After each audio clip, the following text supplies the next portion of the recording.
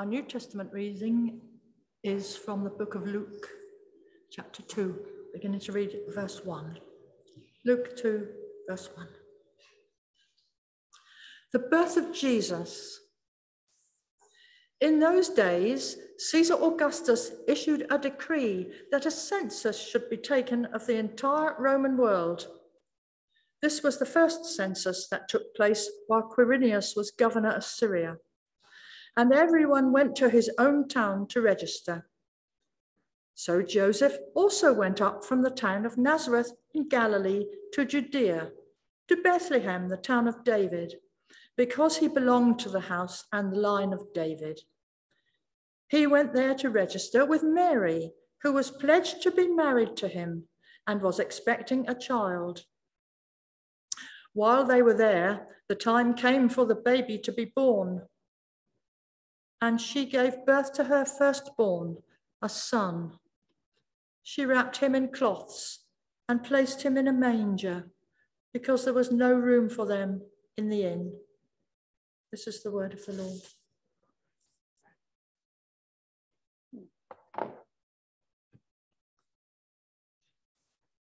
Let's pray.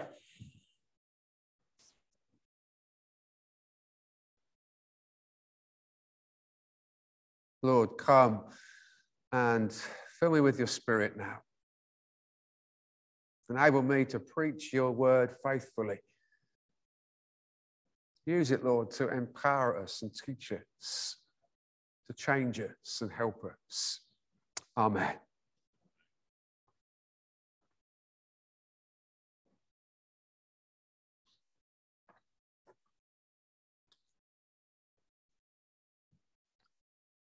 Why did Mary and Joseph have to travel to Bethlehem? Because they couldn't book a home delivery. Why couldn't Mary and Joseph conference call their family when Jesus was born? Because there was no Zoom at the inn. They probably get worse as we go through Christmas. Um, but most of us have heard this reading many times, and we'll probably hear it again this Christmas at this church, at the grandchildren's school nativity play on the radio or on the TV carol services. And as we hear it, we probably have a mental picture of Mary on a donkey arriving with Joseph in Bethlehem as darkness falls. Possibly the snow is falling as they go from inn to inn, knocking on the doors, only to be told that there are no vacancies. Everywhere is full. And eventually, a kindly innkeeper allows them to stay in the corner of a stable in his backyard, surrounded by lowing cattle. Also, as many of you know, you've heard that this mental picture is probably some way from reality. Firstly, there is no specific reference to a stable in the Gospels. The word manger can be translated as cattle stall or stable but it's better translated as a cattle feeding trough. Secondly, the word that most of the Bible translations translate as inn is not the normal word for a commercial inn. Mary and Joseph were probably not denied a room at uh, Bethlehem's equivalent of Wetherspoons or Travelodge. The newer version of the NIV translates that in as guest room. Luke also uses the same word for the room where Jesus celebrated the Passover with his disciples, a large upstairs room. So the guest room was likely to be either a large community function room, the kind of place you went for a wedding reception, um, uh, or a room on the roof of a house, or a large extension to someone's house, or if the room was already full of people, um, it would hardly be a suitable place for Mary to give birth in. So Mary and Joseph were given the best hospitality which the owner of the guest room could provide. And they were probably a relative or a relative's relative or a relative's relative's mate. Uh, and Mary and Joseph were offered a space where the animals were kept overnight perhaps a lower part of the house or a stable or a cave in the backyard, somewhere with a manger, somewhere that they could lay the baby, where the cattle or the sheep were normally fed. But before we get to the manger, Luke introduces this chapter by a contrasting reference to Caesar Augustus. He was the first Roman emperor. Like Napoleon, he replaced the Roman Republic with an imperial system with himself as absolute ruler. Caesar Augustus. It means revered or exalted one. When he came to power, he ended a long period of war in the Roman Empire. He was hailed as the Prince of Peace, the Savior of the world. With his reign began the Pax Romana, the Roman peace. Under his role, the rule, sorry, the, the economy boomed and Rome was expanded. Augustus was worshipped as a demigod, and people proclaimed Caesar is Lord. And to consolidate his power, Augustus issued a decree to, be, to begin a census of his entire empire, the purpose of which was to facilitate military conscription and taxation. Basically, he wanted to know how many men there were so he could tax them and conscript them into his ever growing army. This Pax Romana was built upon totalitarian power. Augustus murdered his political enemies. He crushed any signs of rebellion. Roman peace was not the peace of freedom, but the peace of fear. So, on the face of it, it looked like Augustus was the man in charge. He was the master of the universe. And Mary and Joseph were just two small people among countless thousands who were conforming to his will, who were trudging across a dusty corner of the empire simply so they could be taxed without representation. But Luke shows us the opposite is actually true. God used the pagan decree to fulfill the prophecy of Micah 5 2, which says this But you, Bethlehem Ephrathah, though you are small among the clans of Judah, out of you will come for me one who will be ruler over Israel, whose origins are from old, from ancient times. You see, God has the invisible hand that so controls events that the true Prince of Peace, the true Savior of the world, the ultimate King of kings and Lord of lords, is born in a manger in Bethlehem to God's divine timetable.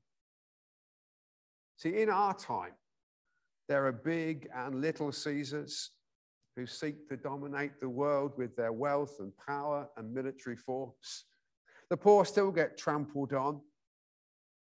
And it can seem for us that we are victims of great political and economic systems, forces over which we have little control, despite living in a democracy. You know, our bills go up and down, and we have no control.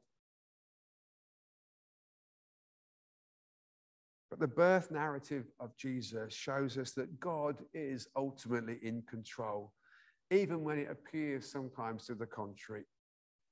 And the pathway to peace will not come through the jackboot and the gun barrel, but through the humility of a baby born amongst the animals and laid in a manger.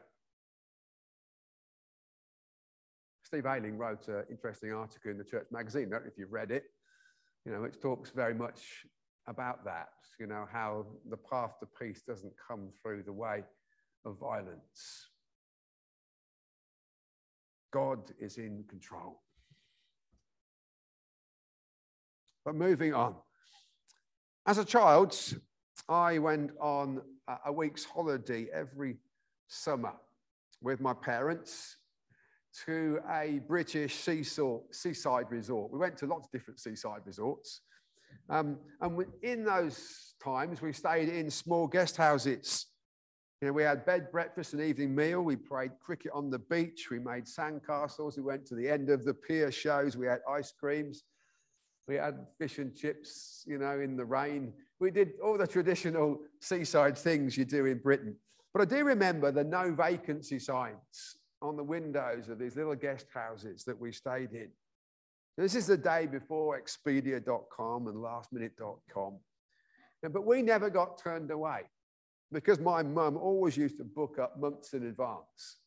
You know, it used to make me a bit annoyed because she was she always booked up before our scoutmaster had booked up his uh, scout camp. So I could never go on scout camp because she, she always managed to book it for the, the same week as our scouts. Um, but Mary and Joseph and the baby Jesus in the womb, they encountered the first century equivalent of the no vacancy sign until someone showed them some kindness, even if it was giving them space among the animals. I think one practical moral of this is that we too must do our best to show hospitality to others. We don't need to offer rooms that would grace the Ritz, so we don't need to offer Michelin star cooking. We just need to do our best to show kindness to those Jesus would have us welcome in whatever avenue of life. Let's just think at the, at the present time who do you want me, Lord, to show hospitality towards this week? There's someone that uh, I come across in my life that I could show a welcome to. Remember what Jesus said in Matthew 10 anyone who welcomes you welcomes me. And to anyone who welcomes me welcomes the one who sent me. Whoever welcomes a prophet as a prophet will receive a prophet's reward. And whoever welcomes a righteous person as a righteous person will receive a righteous person's reward. And if anyone gives even a cup of water to one of these little ones who is my disciple, truly I tell you, that person will certainly not lose their rewards. The other connected outworking of this passage, much beloved of preachers at carol services, is have you room for Jesus in your life? Or are you putting up the no vacancy sign? Have you room for Jesus in your life? Most of us would say that we've heard Jesus knocking on the door of our lives some years ago and invited him in by faith. But I think the question, again, for most of us is have we left him standing in the hallway? To continue the metaphor, does Jesus have access to every room in our spiritual house? Or are there areas from which we have consciously or unconsciously excluded him? The loft, the cellar, the hole under the stairs. You know, are there areas of our life that we have excluded from Jesus and we need to open the door to that room? Is Jesus Lord of our family life? Is Jesus Lord of our spending? There's a story when some of the crusaders were baptized, baptized by immersion. They would hold their, their swords aloft so that their, their swords weren't baptized under the water because they wanted the freedom to use their swords as they wished. Maybe today, you know, when we were baptized, did we hold our wallets aloft? Is the Lord the Lord of our spending?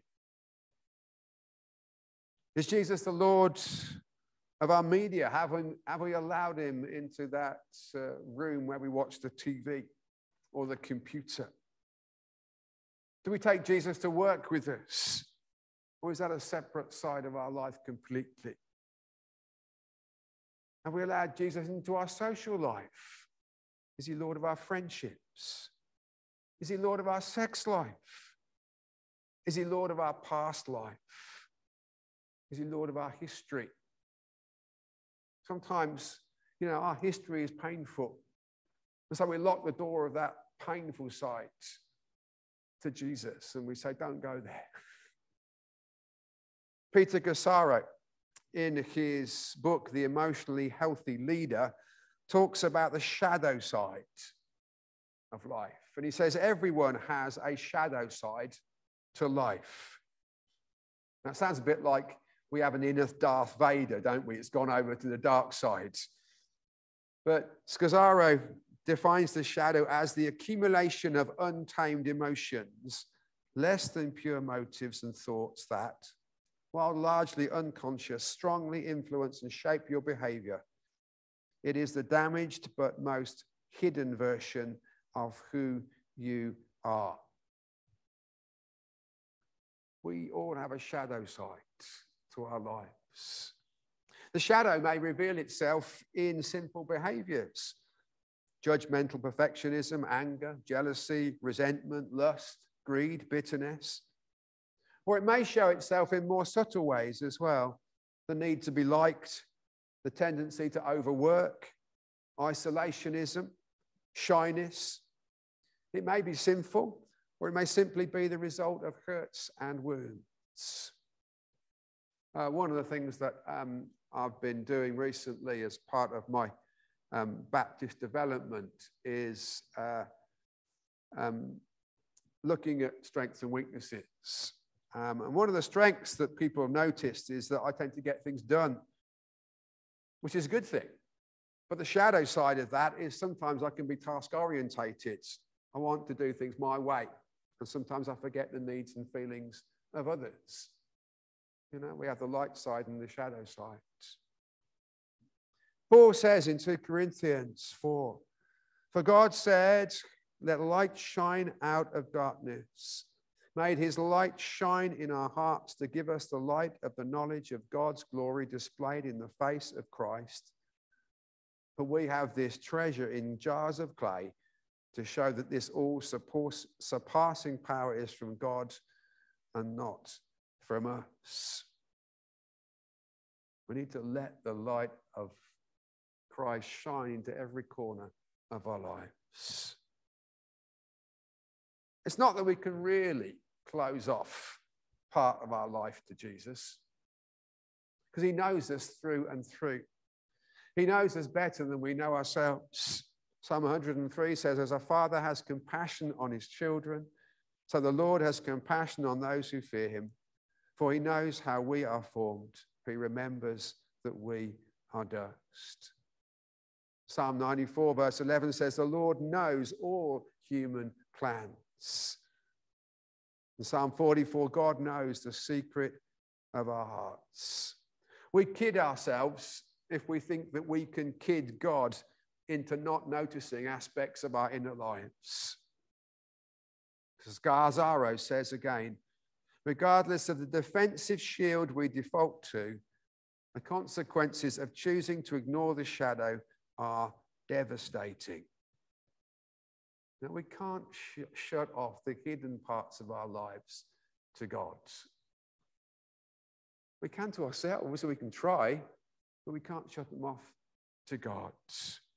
And we will grow and develop as Christians when we open up the doors of our inner life and allow the light of Christ to drive out the shadow. Now, that may involve things that we know about. You know, the regular confession of our known sins to God. It's called repentance, isn't it? Turning confessing our sins and then turning away from our sins. It may mean praying the prayer of the psalmist in Psalm 139 Search me, God, and know my heart. Test me and know my anxious thoughts. See if there is any offensive way in me and lead me in the way everlasting. And it may for those of us whose past may involve some deep hurt, some deep trauma, it may involve the prayer and ministry of wise counselors, particularly those operating in the gifts of the Holy Spirit with discernment and knowledge and healing. Allow the light of Christ to shine into every corner of your life. And then you will grow as a Christian. And we should want to grow as Christians. The problem is, you see, I think some of us don't want to face the pain of that. So we kind of live with the pain and the hurt Yeah. And say, I'm just going to, you know, sit there and control it myself. Allow God to change you with his light and his life.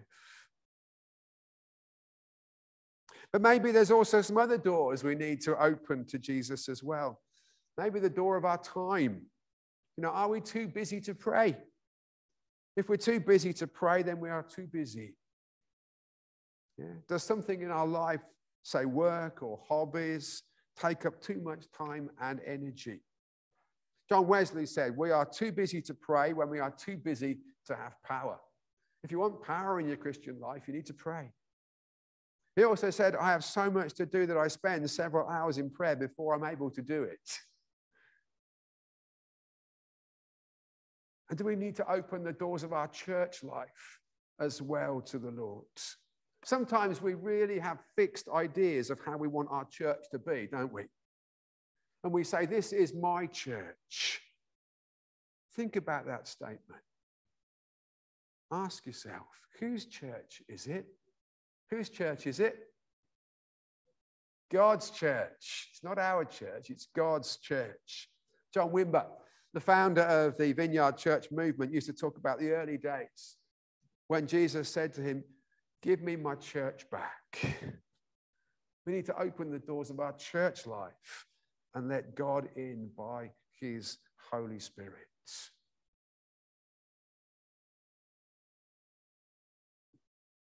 in Revelation 3 19 to 20. Jesus talks to the church and he says, Those whom I love, I rebuke and discipline. So be earnest and repent. Here I am, stand at the door and knock. If anyone hears my voice and opens the door, I will come in and eat with that person and they with me. We could have the picture, please. Steve? You all know that, uh, that picture, I guess. It's the famous picture by Holman Hunt, The Light of the World. Shows Jesus knocking on a closed door. And notice there is no visible handle on the door because the handle's on the inside.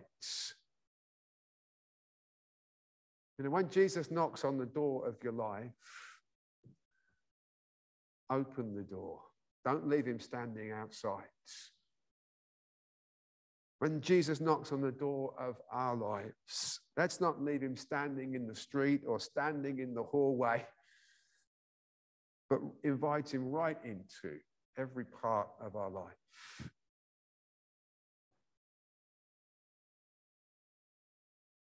I mean, you may feel that Jesus is doing some work in your life at the moment.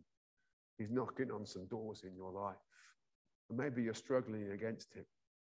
Allow him into those areas of your life to do his healing work. And if you're really struggling with that, you know, you need help with doing that, please let me know. And I'm quite happy to pray with you or to find someone else who can pray with you and for you or the help that you need.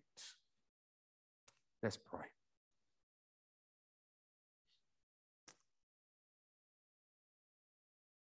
Thank you, Lord Jesus, that you come to us that you're the compassionate one, you're the understanding one. You're the one that takes away our sin and you gives us the righteousness that John talked about this morning. Your heart is for us and not against us. You're the healer, you know, you're the restorer. Come shine your light into every area of our life that we might grow to be more like you. Amen.